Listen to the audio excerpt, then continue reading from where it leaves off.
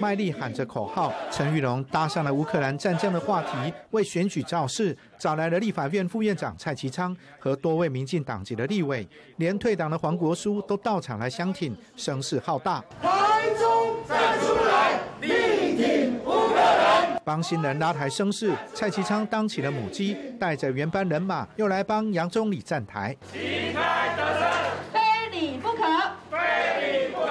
蔡其昌半个小时连跑了两场，只因为台中市北区市议员的选举竞争相当激烈。这个区总共只选出三席议员，但绿营打算推出两位参选人，光第一轮的初选就挤破头。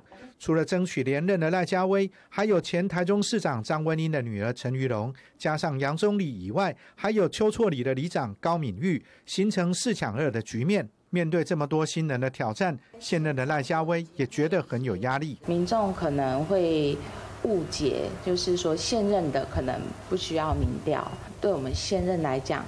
可能也是一个危机。前台中市长张文妮的女儿陈玉龙，四年前中西区初选没有过，这一次卷土重来，转战北区。年轻人参选，我们希望能够到最艰困、最辛苦的地方，为民进党、为人民拼拼下第二席。那我想，呃，很多人说北区蓝大于绿，确实蓝大于绿，但我想不是没有翻转的可能，只要我们努力扎根。过去从事司法改革、国际人权相关工作的杨总理。也积极争取参选的机会，一步一脚印。